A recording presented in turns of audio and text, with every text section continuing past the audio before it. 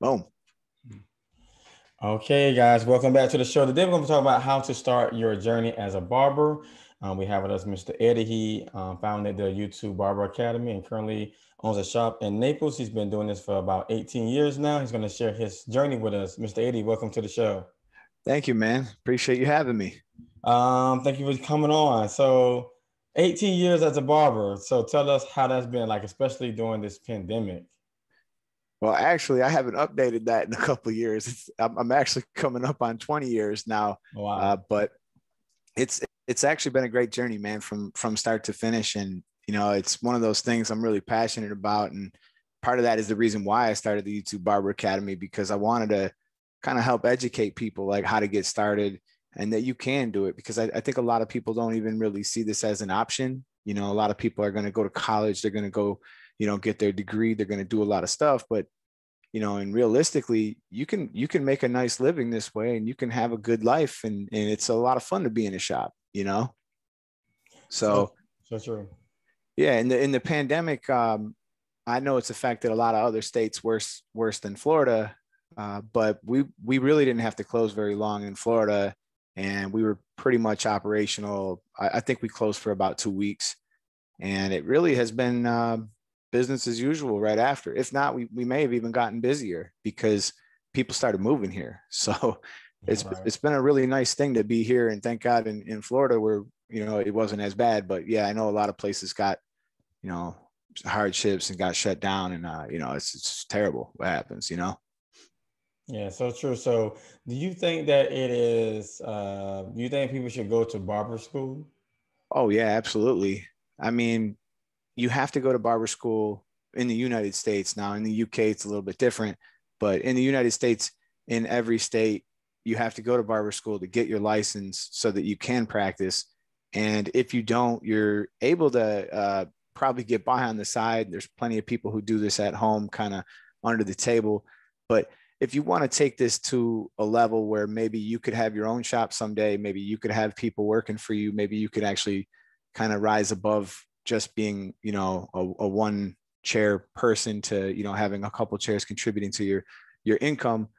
Uh, it just wouldn't be possible to do that without a actual license, you know, to to do go. So true. So, do, what do all successful barbers have in common? Well, that's a that's a good question, man. I think some of the stuff that you know i noticed that a lot of people are are, are going to say that are, are going to be a lot of people start out by cutting their own hair cutting some of their friends hair. You know a lot of people sort of admire some of the style that they see in the world and they're like man you know i want to i want to be a part of that. I think i can maybe try to execute that. I want to learn how to do that type of thing. Uh, but i think the successful barbers are going to have an unwavering belief in themselves because you know when you start out you're not nice. You're not you're not doing great work. And you can get discouraged right away when you go to a shop and you you're working alongside of people who got years on you and you know you, you are measuring yourself against them. And you know you have to have that dogged belief in yourself that i'm going to figure this out no matter what it takes no matter how many extra hours i got to put in. And i'm going to be successful too because even when you get out of school you know that's only half the battle because now you need to find clients that are going to trust you. And doing that that that can easily take you down some dark places because you can start feeling like man i'm not good enough. Man why am i not busy? What about this? What about that? So having that belief in yourself the whole way through is like this is gonna happen. Even if i'm in this shop and no one comes in i'm gonna stay here because someone might come in and that might become a customer of mine for life. So just leaving early or doing these type of things can be really detrimental to what you're doing. And you just got to believe it's going to happen and it will happen if you're doing all the right things.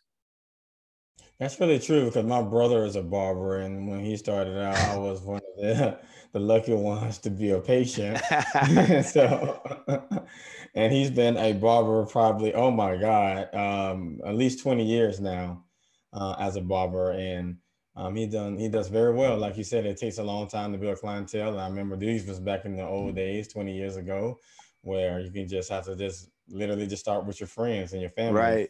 And once you get better and better um, with that hand craftsmanship, then people just start knocking down your door, making appointments, etc. So he definitely had to get out there and grind and and, make his name for himself for people that's literally just literally now he just make appointments. Yeah. You just have to make an appointment. and that's the thing too that I want to stress is like anybody can learn this. Like there's been so many people who have came to my school or came to my channel and were like, man, I'd like to do this, but I don't know how. Like as if we were born, just came out knowing how to cut, like as if I just had this God given ability. Like I had to learn it too.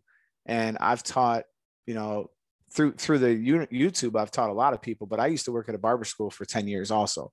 So I had that experience of watching people come in knowing absolutely nothing and leave pretty damn good, you know? So, so anybody can learn it. So what are the best tools for beginners? The best tips for beginners? Yeah, best tools that they can they can utilize for beginners. Oh, the best tools themselves, you're saying? You know, that that's a uh that's a that's a topic in of itself. I mean, it's sort of like saying what's the best car or what's the best, you know, airplane or what's the, you know, everybody's gonna have their opinions. And um, I'm a big fan of, you know, some companies and and other companies, you know, I, I, I could do without. But for the most part, as long as you're getting a, a top tier tool, um, you know, I like Gamma a lot. They're my favorite company. They sponsor me, so you know they take care of me, and they are they are making new innovative products all the time that are putting a lot of pressures on the bigger companies. But for the most part, as long as you're working with something in the realm of that top tier, you're going to be fine. You know, if you got Wahl, if you got Andis, if you got um, you know, even Babyliss, if you got Gamma, that that type of stuff, they they all make great products, and it's it's not the Indian, you know, it's it's not the arrow, it's the Indian. You know what I mean? It's it's the barber that makes that tool great. It's not so much the other way around, in my belief.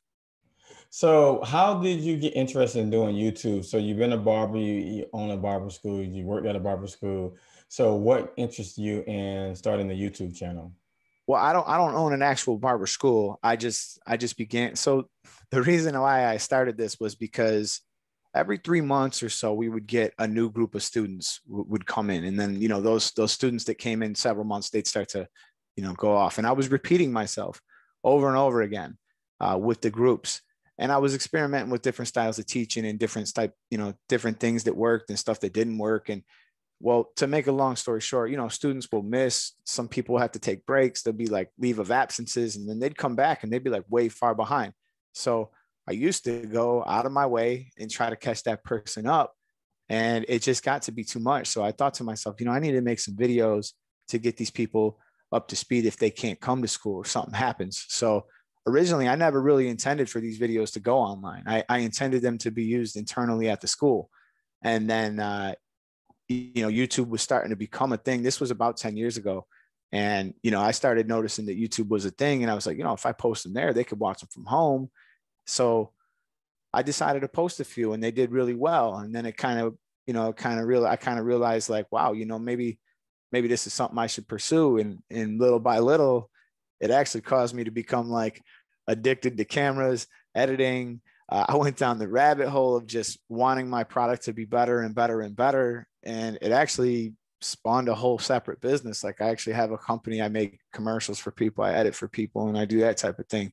But it was just that that obsessive nature that I have. I just wanted to do better work than what other people were doing, and I just wanted to keep getting better and better um, at it. Whether I succeeded or not, it's another story. But I, I wanted to to do better, so that was what started the the academy. But then when all the responses started coming in, you know, you really helped me. I couldn't pass my state board without you. I really appreciate this channel. I've referred back to it over and over again. You know, people started sending me all that love. And then that made me want to do it even more, you know, regardless of the views, regardless of whatever else might come. It, it was enough to make me uh, want to continue doing it. Right, right. I like that's awesome. So, you know, what is you think is the effective way to um, grow a clientele? a very effective way to grow a, client, a clientele is uh, a strategy. We, we call it first in, last out. So you want to be first in that shop. You want to be last out of that shop because at the end of the day, like if you tell people you're going to be there from nine to five and you leave at four, you know, them clients that may have came in looking for you, let's say two or three clients came in looking for you. Those could be weekly or biweekly clients that are paying you $30 each time they come.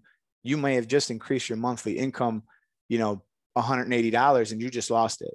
And, and that might have been times three or times four or coming in late. So the first thing is if you establish your hours, they they need to be, you know, you need to stick to that because whatever you're doing on the internet to bring people in, whatever you're doing in other areas of your life to bring people in, it's not going to work if you're not there. You know, so that's that's a big one for me. But posting regularly is is also going to help you. I mean, Instagram has has become the tool of choice, I think, for most barbers because you know it's it's all pictures and it's a little less uh, words and stuff on Facebook. It's just a very great place to keep your portfolio, and you know there's there's definitely stuff to be said about that as far as trying to keep it professional. Like you don't need to be posting all the stuff about your life on your business Instagram. Like that should be a place where you are just showing people, you're showing the world that, hey, I do this, I'm plugged into this, and I post on it regularly, you know? Cool. So you're working on something right now. Tell us a little bit about that. Yeah. So, well, when I worked at the barber school, a lot of people were starting to, um, you know, a lot of people would start school, they'd have all this, you know, drive and stuff would start catching up with them, man, because these people are working like two jobs, trying to switch careers and they take on school on top of that and you know eventually they'll just hit the wall you know where they just they're just doing too much and they wind up taking a break from barber school and i would say in my experience we lost like 30 to 50% out of almost every starting class you know as a result of financial hardships and stuff like that um, obviously there was more that than that but a lot of it was financial in nature you know so i always wish that there was something i could do but you know literally working at a barber school, I'm not making enough money to to help, you know, that that to that extent. But we're about to hit 100,000 subscribers on YouTube, and I had been planning this for for a long time, like how I would do this. And so what I did was I created this thing called the Barber Tuition Initiative, and I'm just asking all my subscribers and anybody who wants to help if they if they give the price of a haircut to the Barber Initiative uh, initiative what we're doing is we're actually going to go find those people in need, find those people that need some help, and we're actually going to um, surprise them. They're they're not going to have any idea until the day it happens, and uh, we're going to be able to sit down with that person who's struggling, and we're going to just tell them like, listen, man, your, your tuition is paid off in full. So all you really got to do is focus on on finishing school and get through it. So maybe that's one less job that they got to take on. Maybe that's one less thing that they got to worry about and uh, we're also going to try to bless the other students in the class with with stuff from the sponsors as well. So they'll get clippers and trimmers, and we're we're trying to um, we're trying to grow this into a big thing so that we can actually do this for a lot of people. That's really awesome. That's so awesome. I mean, drop the bomb on us. Let me know we can locate you, how we can find you, so we can learn so much more about you. Yeah, I'll, I'll send you guys over the the fundraiser link, and uh, we'll we'll put the link down in the Dropbox below. And if you guys just click on it, we're just, like I said, we're just asking for the price of a haircut. And if we all work together, we call it Eddie's Army. Like p- people started calling it Eddie's Army. And uh, uh, together, you know, we're strong and we could, we can actually do stuff like this. And with the help of some of the sponsors, if anybody else is out there and maybe you own a company or maybe, you know, you're involved in some way, um, it will be an advertising expense for you. So you can, you can write that off. And uh, there's another channel that you can use to, to contact me directly um, so I'll, I'll put that in the link as well. And if you want to contribute any type of products or anything like that, we're, we're willing to work with anybody who wants to um, further the cause. That's so awesome. Thank you, Eddie, for joining us. I appreciate it, my brother. Yeah, man. I appreciate that, man. Thanks for having me. All right, Miss IBS.